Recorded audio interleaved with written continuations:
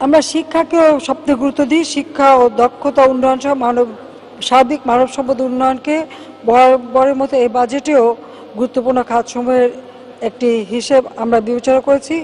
Corona মহামারী প্রাদুর্ভাব শুরু থেকে শিক্ষার্থীদের পাঠ্যক্রম ধারাবাহিকতা রক্ষায় পদক্ষেপ গ্রহণ করেছে। যেমন মাধ্যমিক ও উচ্চ মাধ্যমিক পর্যায়ে আমার ঘরে আমার স্কুল এবং প্রাথমিক পর্যায়ে ঘরে বসে শিখি। পাঠ সম্প্রচার কার্যক্রম বাংলাদেশ সংসদ টেলিভিশনের মাধ্যমে এটা করা হচ্ছে।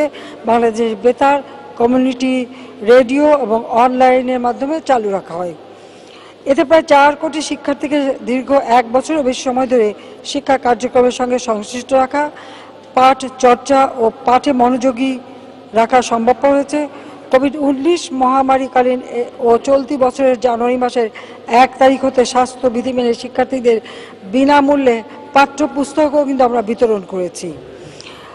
আমরা সেই সাথে সাথে যে আমরা উপবৃত্তি দিই যার মায়ের নামে সরাসরি টাকা পাঠানো তারপর বৃত্তি ডিজিটাল পদ্ধতিতে উপকারভোগী মায়ের মাধ্যমে কিন্তু টাকা চলে গেছে।